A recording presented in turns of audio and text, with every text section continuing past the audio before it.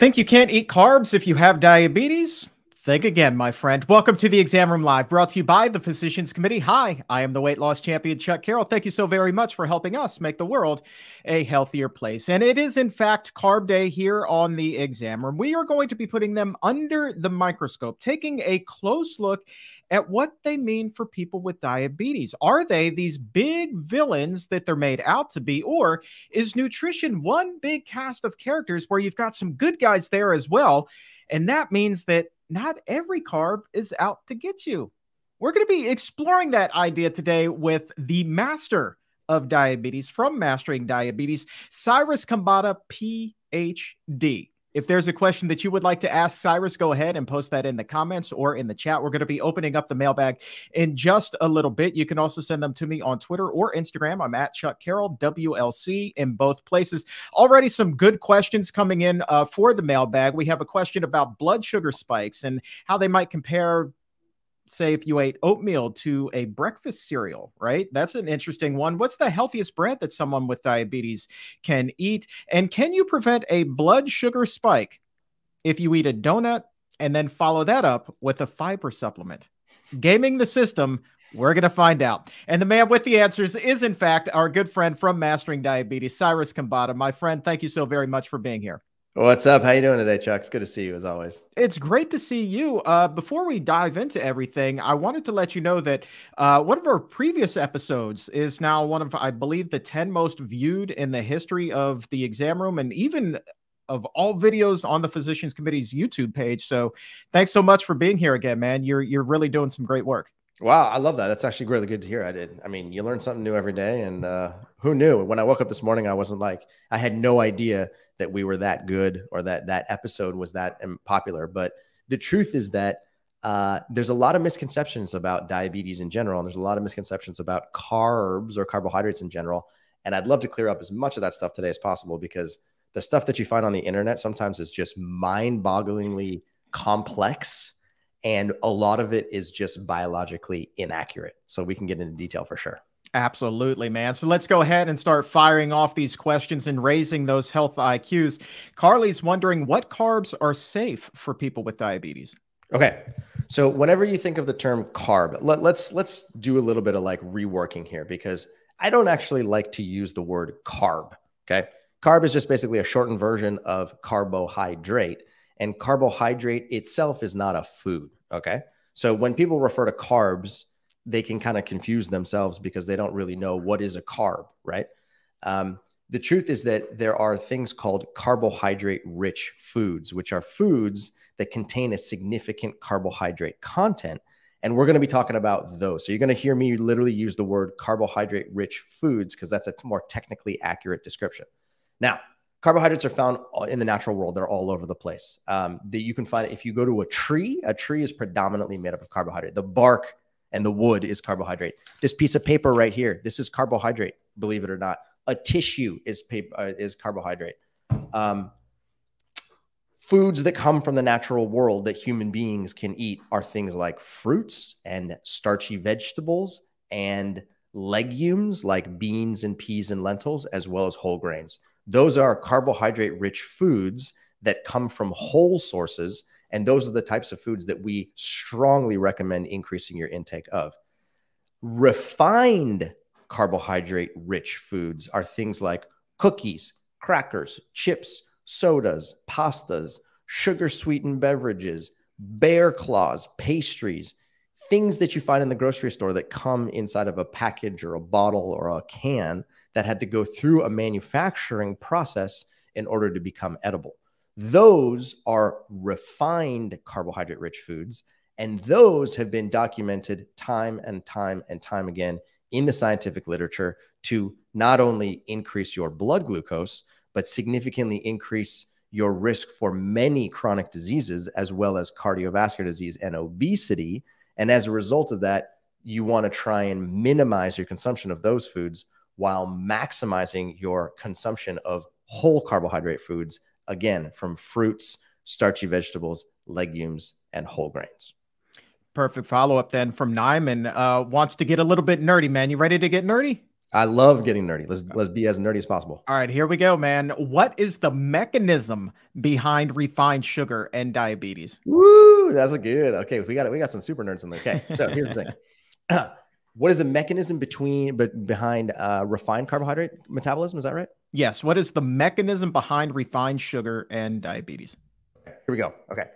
When you consume food, you put food into your mouth, food travels down your esophagus, it goes inside of your stomach.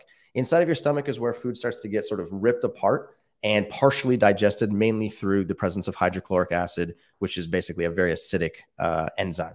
Now, hydrochloric acid then, I'm sorry, the food is partially digested. It turns into chyme. That's just the scientific name. It then goes into your small intestine. And inside of your small intestine is where the bulk of digestion occurs.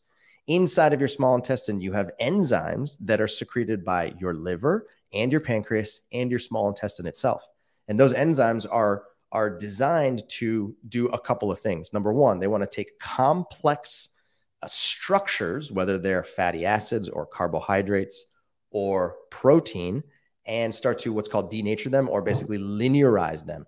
Once they are linearized, you can then have another set of enzymes that come in and start to cut those complex three dimensional uh, structures into individual units. Those individual units are then absorbed through the walls of your small intestine. They're put in your blood and then they can go to their destination tissue.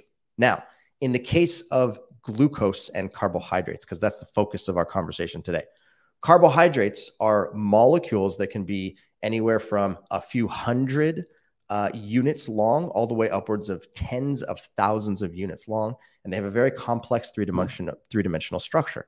Now, these carbohydrates are acted upon by digestive enzymes inside of your small intestine, and they are basically linearized and then cut into individual glucose and fructose units mainly.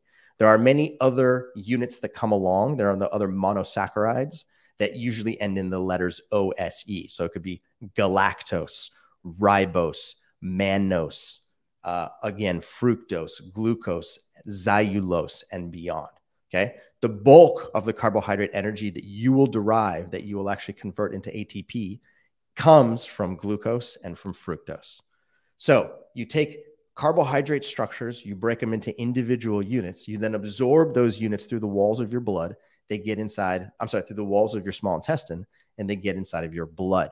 Once those are inside of your blood, the glucose and fructose are trying to get transported into their final destination, which is tissues like your liver or your kidney or your brain or your thyroid gland or your muscle tissue. Okay. Now, this is where things get just a little bit fun, in my opinion. Glucose wants to get inside of your liver and muscle and brain because those are the three most glucose dependent tissues in your body. Glucose can get inside of your brain with zero insulin required. Glucose can basically get shuttled into the into sorry, it can cross the blood brain barrier, get inside of neurons inside of your brain and they don't require any insulin to make that process happen and that's a good thing.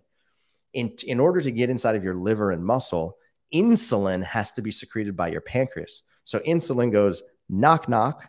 There's some glucose in the blood. Would you like to take it up? And liver and muscle cells can either respond by saying, Sure, I'll take that glucose, or No, thanks, I don't need that glucose right now. You can go away.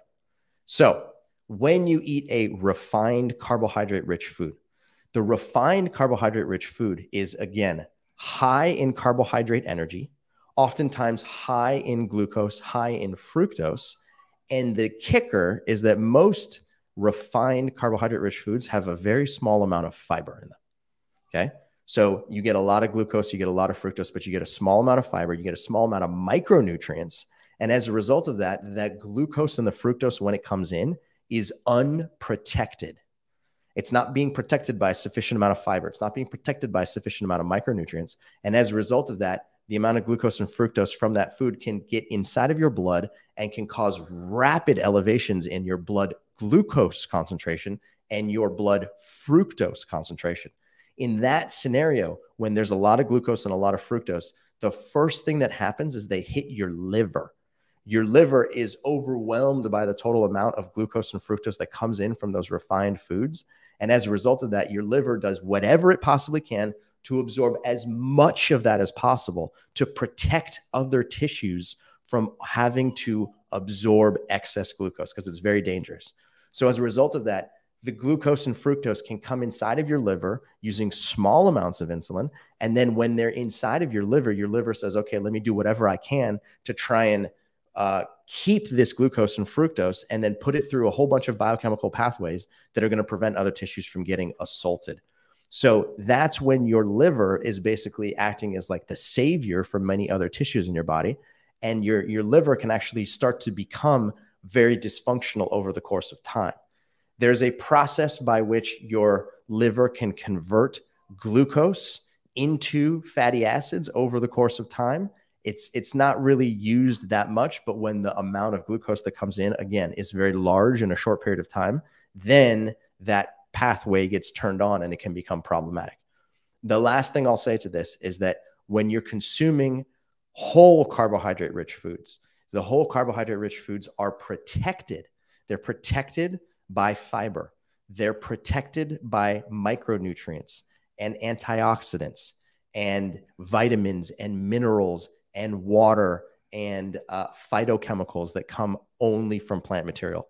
The presence of those micronutrients, in addition to fiber, slows down the digestive process. And that is a good thing. And that means that when the glucose and fructose gets liberated from those foods and put into the blood, they don't overwhelm your liver and they don't overwhelm these these alternative pathways inside of your liver that have to get turned on when there's too much available. So in this scenario, slowing the digestive process is beneficial. It's something that actually significantly improves the health of your liver in the long term and it can prevent against rapid blood glucose elevations and can protect the health of your liver and your blood vessels in the long term.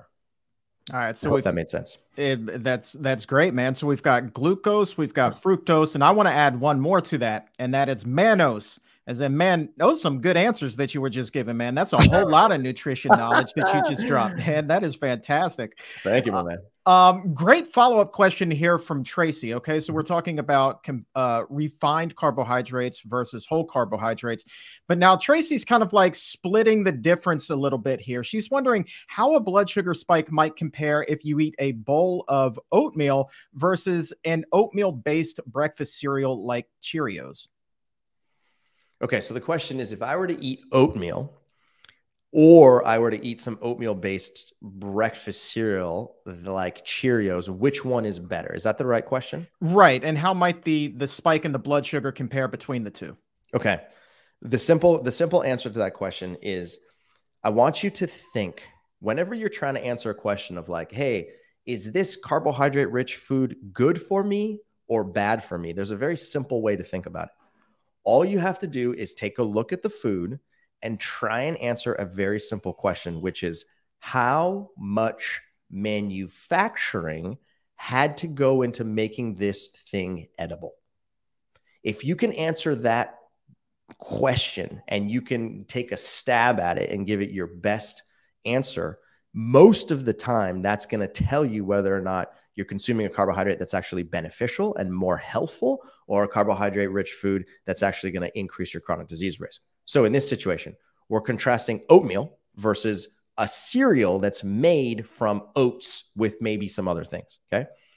Oatmeal is how the question is how much processing is required in order to turn oatmeal into oatmeal. Okay. Well, it turns out that there's actually many different types of oatmeal. There's the most unrefined version of oatmeal, which is called oat groats. And that is the type of oatmeal that I would recommend eating because that still contains the bran, the husk. It's got all the micronutrients on the in the casing, and that's a good thing because it slows the digestive process down and it's got a lot of fiber. So oat groats is at the top. Next, you have steel cut oats. That's the second in the hierarchy. Steel cut oats is a little bit more processed than the oat groats, but that's okay, and it'll still be a healthful choice. Underneath that, you have rolled oats, which are the types of oats that you get at the grocery store that you know look like little sort of flat pancakes that you get from like the the Quaker box. And then underneath that, you're going to have uh, instant oats, and then you're going to have puffed oats.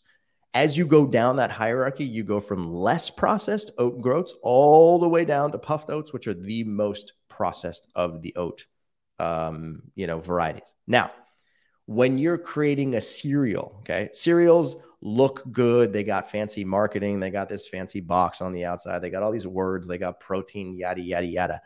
But you got to think about again how much processing was required in order to make this cereal possible. And I can guarantee you that in most situations, most cereals require a significant amount of processing in order to make the uh, the end product have the right crunch, the right size, the right texture, the right appearance, the right flavor.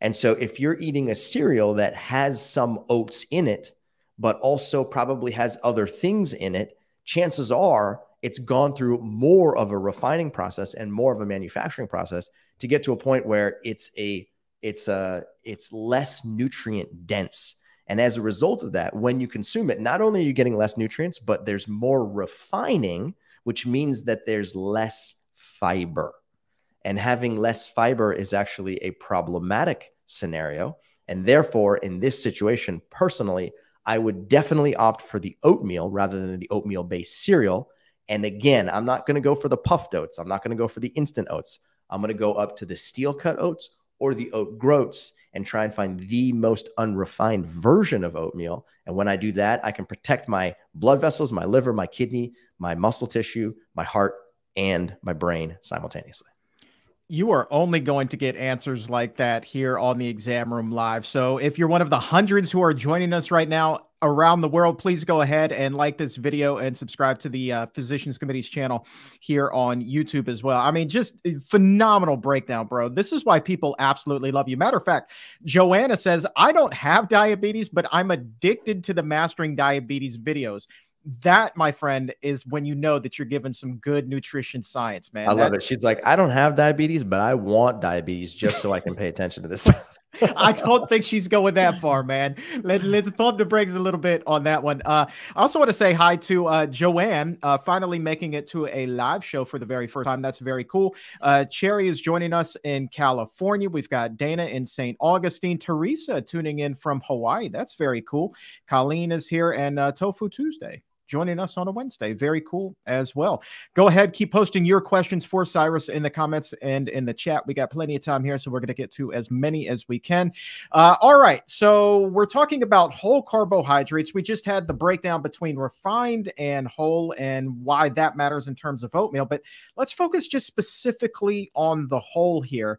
Uh, Vanessa is wondering if all varieties of sweet potatoes are safe to eat if you have diabetes. Ooh, the potato, the mighty, mighty, mighty potato. I'm so glad we're talking about potatoes. Potatoes are one of the greatest foods in the world for so many different reasons. Okay. Potatoes, there's so many different varieties. There's sweet potatoes, there's white potatoes, there's potatoes, there's red potatoes, there's yellow potatoes, there's black potatoes, you name it. They're different colors, they're different shapes, different sizes. Some are small, some are large some are really heavy, some are light, you name it. Okay. Um, we could do probably an eight hour course or more in trying to figure out the biochemistry and how a purple potato slightly differs from a white potato and how a white potato is slightly different than a Yukon potato and a Yukon potato is slightly different than a red potato and so on and so forth. But we don't have the time for that and it's not that important. What is important to understand is that potatoes get a bad rap. Potatoes get a bad rap for many reasons. Number one, because potatoes are a carbohydrate rich food, and the general world is terrified of eating anything that contains carbohydrate because, again, they've been told and they've been brainwashed, if you will, into believing that carbohydrates are bad for you or carbs are bad for you. But you guys know better. Okay. So potatoes in general are carbohydrate rich, but you should not be scared of them. In fact, you should eat more of them because they're carbohydrate rich. Number two, potatoes are fiber rich. Fiber, again, is very important because it acts as a brake and it slows down the digestive process. And that's a good thing because it lowers the speed at which glucose gets inside of your blood and gives you a much more favorable blood glucose response when you eat a meal. Now, sweet potatoes, there's many different varieties even within the sweet potato family. You got ones that have yellow flesh, ones that have purple flesh, ones that have uh, orange flesh on the inside, some that have darker fresh flesh uh, some that have white flesh on the inside. So the question is Are all sweet potato varieties good uh, good to eat and a, and a smart, healthful decision? And my answer is absolutely. All sweet potatoes, regardless of what color they are on the outside, what color they are on the inside, you have Cyrus Khambatta's green light to eat sweet potatoes. But my the one thing that I will uh, put a, a little asterisk or a caveat in is whenever consuming carbohydrate rich foods and whenever consuming a diet that contains a significant amount of carbohydrate con- content in particular, the most effective thing that you can do is to eat carbohydrate rich foods in a low fat setting. And Dr. Neal Barnard has worked for years on this. Chuck Carroll knows this inside and out. Dr. Barnard has written multiple books on it. We wrote the Mastering Diabetes book on it. And there's ample scientific evidence to demonstrate that when you consume carbohydrates in an environment in which you are also eating a significant amount of fat, okay, the fat can come from things like olive oil or processed meats, it can come from dairy products, it can come from nuts and seeds and avocados, you name it. If you're eating a lot of those fat rich foods, and then in addition to those fat rich foods, you try and eat a sweet potato or any other type of carbohydrate rich food, your glucose will likely go high. So, in order to enable you to tolerate carbohydrate more, in order for your carbohydrate tolerance to actually increase, which is a scientific term, carbohydrate tolerance, the way to increase your carbohydrate tolerance is to lower your total fat content.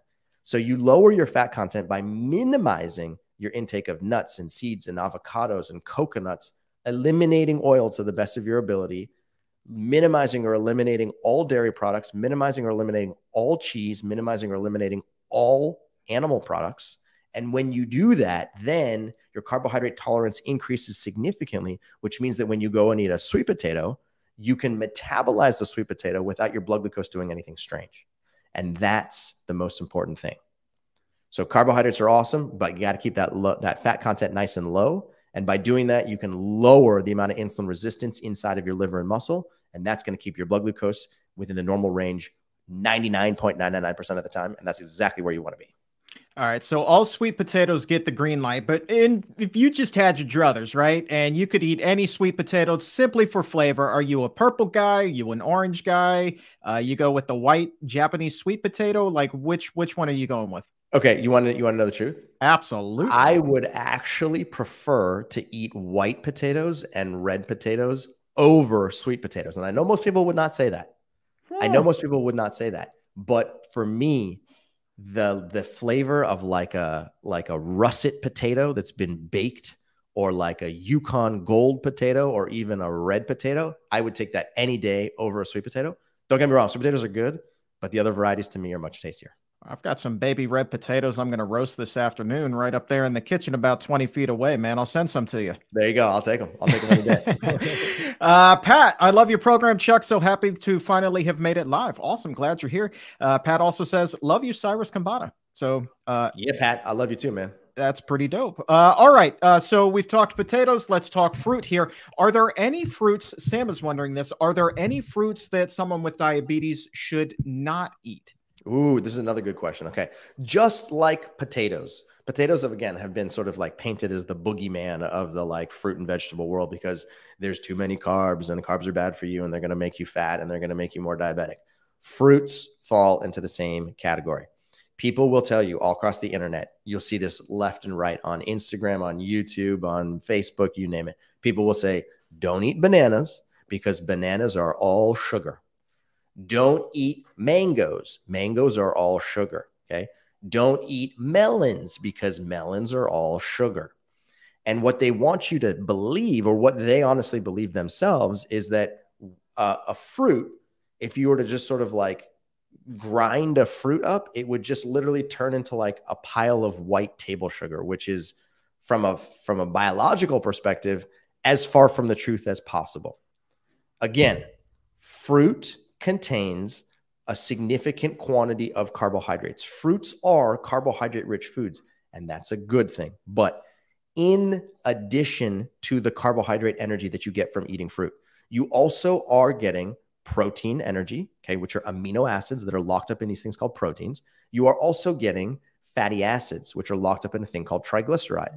Okay. You are also getting vitamins, minerals, fiber, water, antioxidants, and phytochemicals. So if you really think about what a fruit is, a fruit is a combination of multiple macronutrients and micronutrients. And the combination of all of that together is actually a very complex three dimensional package, a th- complex three dimensional matrix, if you will. And when you eat that food and it gets inside of your small intestine to be fully broken apart and digested, it takes time. And time is your friend. Again, if we contrast that against a soda or a, a, pastry or a cookie that you get from the grocery store, those have gone through a manufacturing process. They contain less micronutrient density, less fiber, if any. And as a result of that, they can be metabolized very quickly, and speed is not your friend in this scenario. So, to go back to the original question, are there any fruits that I should avoid? My answer is absolutely not all fruit, literally all fruit. I don't care what color it is, what shape it is, what size it is, how carbohydrate dense it is, how much water there is, how much water there isn't. It doesn't matter. All fruits are technically speaking green light foods as far as the Mastering Diabetes program is concerned, as, as far as we classify them. All of them contain vitamins, minerals, fiber, water, antioxidants, micronutrients, triglyceride, protein, and carbohydrate simultaneously. And that is a very good thing. And that's why when you're consuming fruits, I don't want you to think, oh, well, this is going to turn into sugar because that is not a true statement. All those other protective macro and micronutrients that come along for the ride are there to help you in the digestive process, slow down the metabolism of glucose and fructose into your blood. And that right there protects you against chronic diseases like diabetes and many others into the future. All right. Monokiki is taking it then to the next level with the fruit, wondering what your opinion is on a, a fruit exclusive diet. Oh, okay. Um, real quick before we get there, there's a comment from Richard that I just saw.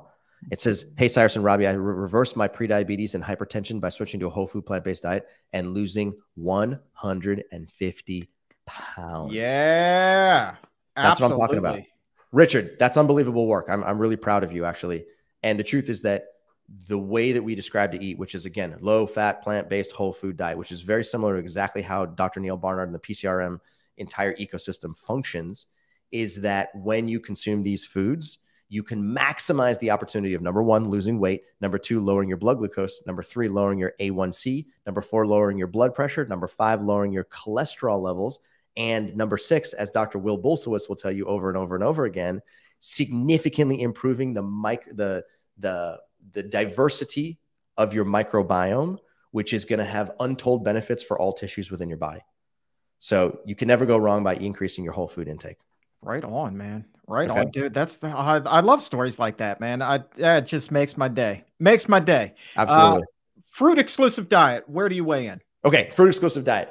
Truth be told, when I first became a raw food, sorry, when I first became a vegan back in 2003, I actually ate a raw food diet. And then the raw food diet is very high in fruits with some vegetables to come along for the ride. So I was never eating a 100% fruit only diet. I was eating a predominantly fruit diet with some raw vegetables to come along for the ride. Now, I'll tell you one thing I freaking loved it. I loved every second of it because there's a lot of like very delicious foods that you can eat keeps you extremely high energy. You're able to work out. If you enjoy exercise, you have a lot of energy to be able to, you know, use for physical activity, and that's always a good thing. Um, a fruit exclusive diet takes it to one, uh, a one more extreme, if you will. I don't like to use that word, but a, a little bit more um, restrictive in the sense that you're eliminating all vegetables and you're literally eating nothing but fruit. Personally, I would not recommend that approach. I would not recommend that approach for many reasons. Number one, vegetables have, I mean, there are, there's a whole wide, there, there are thousands of vegetables. And there is plenty of evidence based research that demonstrates that consuming vegetables actually has a very powerful effect at boosting mm-hmm. overall function, boosting, boosting overall immune function, and lowering your risk for many chronic diseases. So, because it's such a beneficial food category, I would not eliminate that from my diet personally speaking. Number two, when you eat a fruit only diet, you are also not consuming legumes, beans, lentils, and peas. The blue zones have taught us, Dr. Will Bulsiewicz has taught us, and many other experts on gut health have taught us that legumes are some of the most micronutrient dense foods that we know of. And they have very, very powerful effects at improving your overall gut function. And that is a very good thing. Number, number two, legumes also are very effective at helping to keep your blood glucose values nice and stable over the course of many hours. So if you eat a legume right now, or you eat a legume, you know, collection of legumes for, for lunch over the course of the next six to 12 hours, your blood glucose is likely to be more stable than if you were eating uh, a meal that had less legumes in it. And Dr. Joel Fuhrman has also talked about the fact that there's this thing called the second meal effect, which means that if you eat legumes at this meal, at your second meal, you actually have a carryover effect. And a lot of the benefits that you got from that first meal are still present inside of your microbiome. And that can be very beneficial at helping control your short chain fatty acid production, your glucose production, and beyond. So, my point is this if you can eat a diet that includes fruits, I'm all about it but I would personally not recommend eliminating either vegetables or legumes. We didn't even get into whole grains, but I would not eliminate them either. The combination of fruits plus vegetables plus legumes plus whole grains is a winning combination. And to the best of my knowledge, there's no reason to necessarily eliminate three out of those four categories. People just want to talk about fruit today. Uh, Nadia at uh, twelve thirty. What's the best way to eat fruit? Is it raw, and is it okay to combine a number of different fruits while you're eating them? Can you eat them together?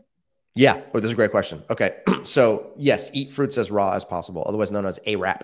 Okay, um, but secondarily, um, if you really get into the like fruit world, there's actually uh, some food combining rules, if you will, that basically say you know, they, they take fruit and they classify them into one of four categories. You either have your uh, your sweet fruits, your subacid fruits, your acid fruits, and then there's actually a fourth category called melons, just pure melons, right? And so what you want to do is basically like only combine fruits from any two categories that are adjacent to each other, but try not to skip a category. Now, that's a whole uh, the, the reason for this fruit combining rules is based off of digestive biochemistry and the truth is that it works most of the time. But there are for some people, they're like, ah, it doesn't matter. I can have some melons and I can eat with bananas. I can have some bananas and eat them with oranges. It doesn't really matter. And so the answer is, for the most part, combining any and all fruits together should do you just fine. But if you are finding that when you combine certain combinations of fruits together, it can be a little bit more problematic and it might cause you some digestive distress, then I would recommend looking up these food fruit combining rules and then being a little bit more adherent to them. And then that might help you out in the long term. Joanne, 1235, is blending fruit into a smoothie going to speed up digestion too quickly? Okay, so blending fruit into a smoothie will definitely increase the rate at which glucose enters your blood. There's no question about that. Does that mean that you should never have a smoothie? Absolutely not. If you're going to have a smoothie, here's what I would recommend doing don't drink your smoothie with a straw. Don't drink it with a cup. Eat it with a spoon. So let's say you make a blender full and you got this giant smoothie and you pour it into a cup or you pour it into a bowl. What I would do is I would take a spoon and I would put the spoon inside of the cup and I would take one spoonful at a time. What that does is it forces me to slow down the rate at which I'm actually putting that into my mouth. And that's going to go a long way in trying to prevent your blood glucose from doing funny things in the next couple of hours. Um, I personally make a smoothie bowl almost every single day but I'm also pretty uh, strategic in that I will only really consume a smoothie bowl if I am in the post workout state, meaning I've gone and I've done my workout and I've gotten my, you know, my heart to be beating significantly. So my cardiovascular metabolism has already been turned on. My muscles are extremely hungry. In that situation, consuming smoothies and or smoothie bowls is going to be a much safer option simply because your muscles are extremely hungry and they can start to absorb a significant amount of that glucose energy for free without using very much insulin. So if you can sort of time it after exercise, that would be smarter than just having it at any moment of the day. But again, the pace at which you eat it really matters. So that's my recommendation. Plant Based 60s is uh, showing us some love right now. Love the exam room. This show is awesome. Love you too. That's awesome. Thank you so awesome. very much for sharing that. Uh, question from uh, Ayla here 1228. We haven't talked about corn yet. Uh, Ayla says, uh, I've heard that corn should be avoided because of its sugar content. Where does that rank here in terms of foods that are green light, yellow light, red light? Where is corn on that scale? Okay, corn is 100% in the green light category. Um, again, people have been sort of told that corn is bad for you because corn's going to metabolize to sugar. It's the same thing as fruit. It's the same thing as potatoes is bad for you. The truth is, from a biochemical perspective, corn is a complex food. It contains, again, vitamins, minerals, fiber, water, antioxidants, phytochemicals, plus triglyceride, plus protein. And the combination of all of that is going to help slow down the digestive process. So don't, if you're going to not eat corn, don't not eat corn because it's carbohydrate rich. Some people choose not to eat corn because the majority of corn that you find in the grocery store today is either GMO'd or it has been it's a it's a hybrid version of corn that's been bred and bred and bred and bred and bred many many times and as a result of that its micronutrient value has decreased. So uh, if you if you choose to avoid corn, do it for those reasons. But I personally consume corn. We recommend eating corn for all of our uh, all of our people. And if you can find corn uh, in in an organic state, that I would I would recommend doing that um, rather than um, trying to take on some GMO corn that may or may not have uh, deleterious effects in the long term. All right. I want to go back and do some housekeeping on something you and I were talking about a little bit earlier. You're talking about eating a really fatty meal, but then having this whole carbohydrate on the side, but then boom, you still see that big spike. But now Big Ant is like, all right, cool, I got you. But what if that fat source is in fact whole food plant based like an avocado? Mm. Will you still see that that spike there? Okay. So the answer is it will be better, right? I would prefer that you eat an avocado rather than having a couple of tablespoons of olive oil. I'd prefer that you eat an avocado rather than chicken. I prefer that you have an avocado rather than ice cream. No question about it. But there comes a point at which any fat rich food, even if it's from a whole food plant based source like an avocado or a coconut or nuts and seeds, can overwhelm your ability to metabolize carbohydrate. It's just a flat old, it is a, uh, it is a mammalian biochemical problem. For some reason, mammals, you know, human beings, cats, dogs, monkeys, mice, sheep, all of us that are in the mammal category suffer from the same problem, if you will, which is that carbohydrate metabolism and fat metabolism do not play nice with each other. When you operate in the carbohydrate economy and you are consuming a significant amount of carbohydrate energy, it is very important to keep your fat content low. So you want carbohydrate high, fat low. That's the only way to make carbohydrate metabolism work for you in the long term. There's literally no other way to do it. If you consume to eat a fat rich diet instead, then I would highly recommend lowering your fat, your, your carbohydrate content. So that way fat is high and carbohydrate is low because again, the two of them do not play nice with each other. So my suggestion to you would be even if you are eating plant rich fatty acid foods, limit your intake of them because number one, a little bit goes a long way. But number two, if you're trying to eat too much of that, then your carbohydrate metabolism is going to get adversely affected and your blood glucose is likely to do some very weird things. So then, like, what is the balance there? Because obviously there are certain fats that, that we need, like omega threes, right? So you mm-hmm. add flax to something like that, that's going to jack up the content there. You, you still need those. So, like, how does one find that balance? I'm sure that that's something that a lot of people struggle with. Yeah, for sure, for sure. It's a, it's a great question, and so we've done the math on this, and we've worked with thousands of people, and you know, I've done it, you know, for the past twenty years myself, living with type one diabetes, and I can tell you this: the simplest way to think about it is just to like make this dirt simple. On a daily basis, we recommend eating no more than thirty grams of total fat. Period. End of story. Okay, so you can just remember that number: thirty grams of total fat from your diet from all foods within a twenty-four hour period. If you can contain your total fat intake to being less than 30, you're doing the right thing. Number two, within a 24 hour period, if you want to ensure that you're getting a significant amount of omega 3 fatty acids, which are anti inflammatory, which are very beneficial for brain health and eye health and nervous, nervous tissue health, then a simple way to do that is to take two tablespoons of ground chia seeds or two tablespoons of ground flax seeds and try and freshly grind them as much as possible. And then add that to your foods over the course of 24 hour and then eat it. Boom. Mi- micro, uh, sorry, omega 3 micronutrients already taken care of. Okay. So the truth is that this game is not that complicated. It really does not have to be that complicated. It's just that it can become very complicated when there's too much information and too many different people saying too many different things. So again, 30 grams or less per day and have two tablespoons of freshly ground chia seeds or freshly ground flax seeds per day, you're covered. You got your entire fatty acid profile completely uh, you know, it's it's adequate. It's actually beyond adequate, and you don't necessarily have to worry about developing an omega three deficiency over the course of time.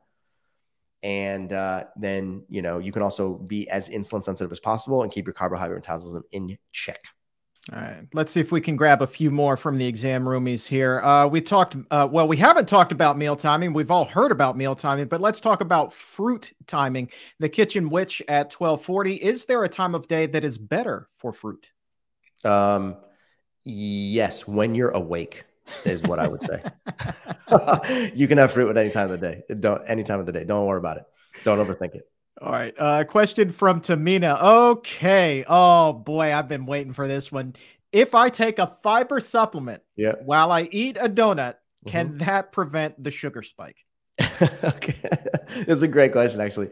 Uh, one of my favorite comedians of all time, his name is Mitch Hedberg.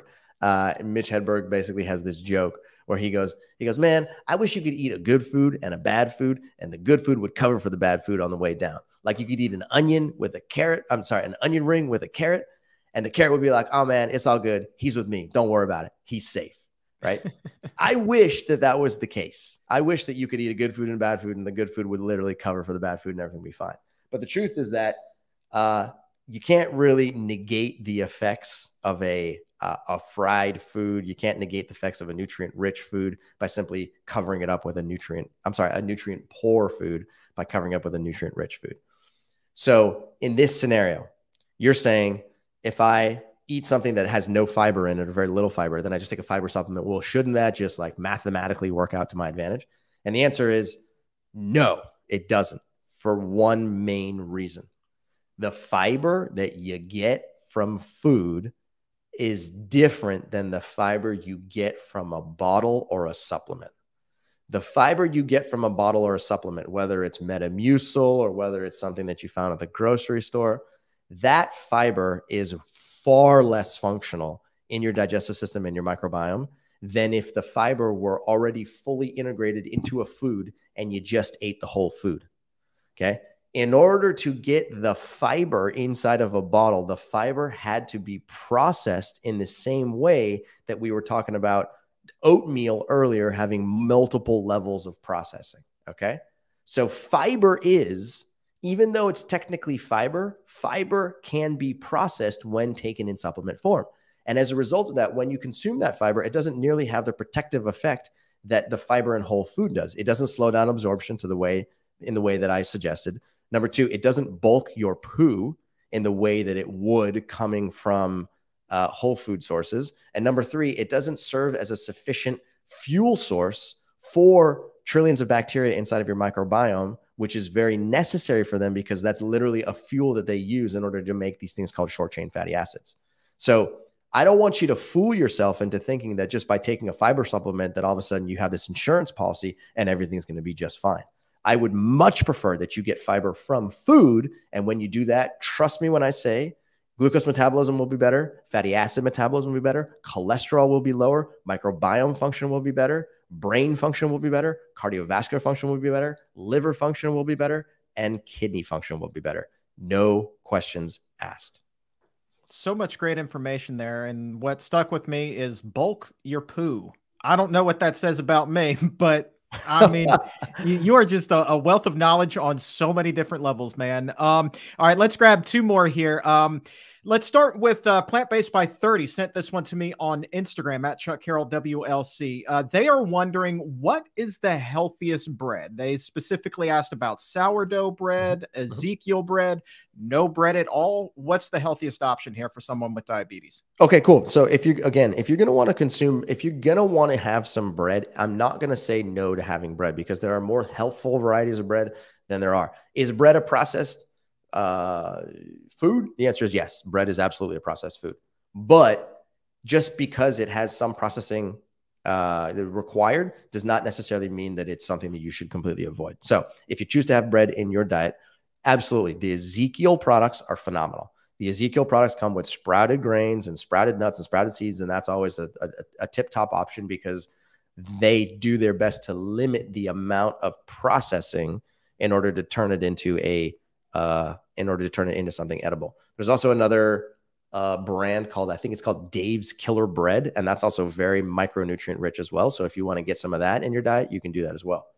Um, sourdough bread actually is partially fermented, and that's a good thing because the fermentation byproducts are actually food for your microbiome as well. So if you choose to have some sourdough bread, then try and you know get maybe as organic of a sourdough bread as you possibly can, and have small amounts of that, and that's also a perfectly good option.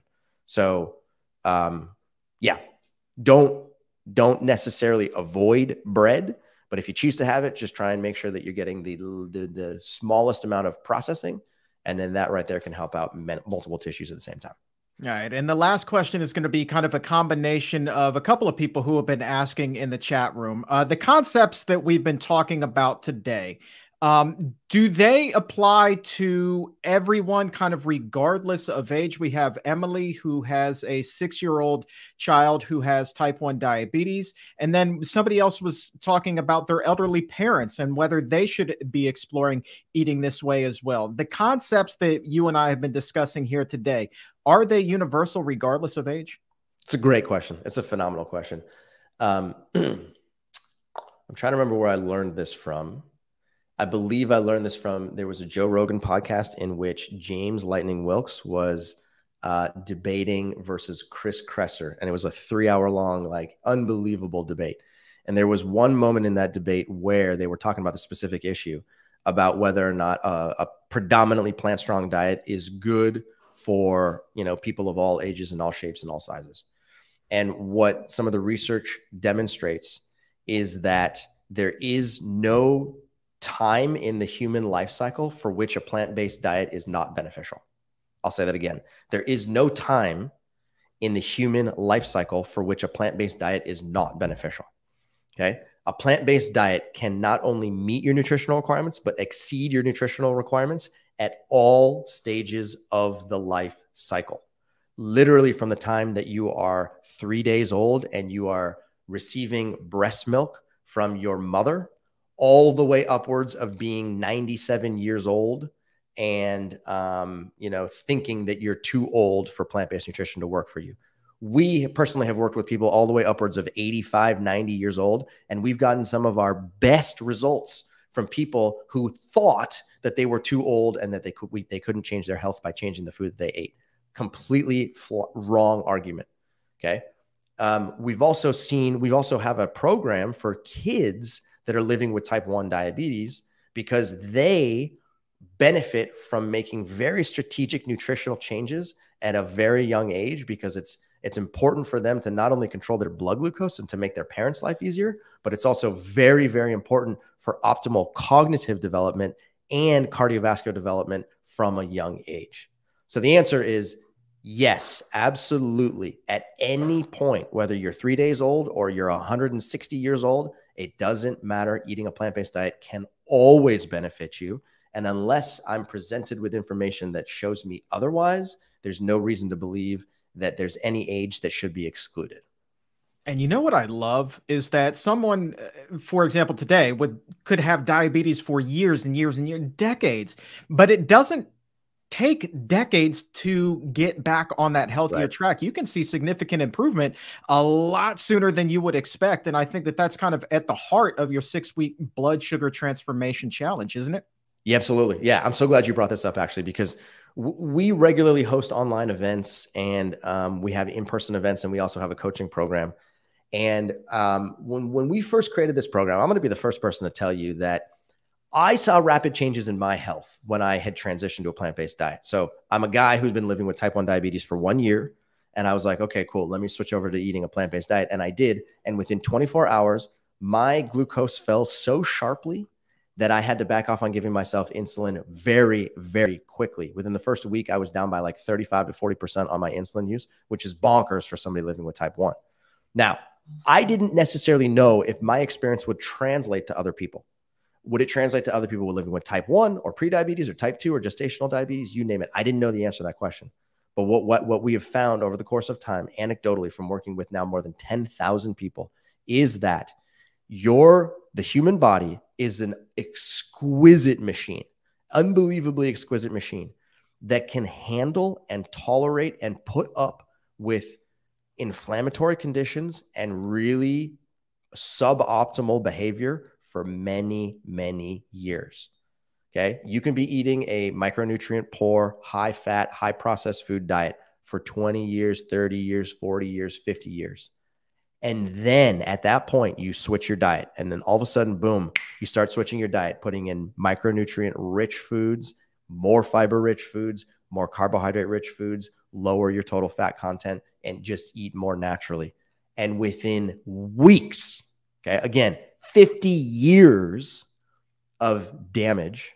And within weeks, you can start to see significant improvements in blood glucose, significant measurable improvements in blood glucose, significant reductions in A1C value. And if you fast forward to like the two to three month marker, that's when you start to see significant improvements in lipid metabolism, AKA less cholesterol in the blood, less LDL. And that's always a good thing.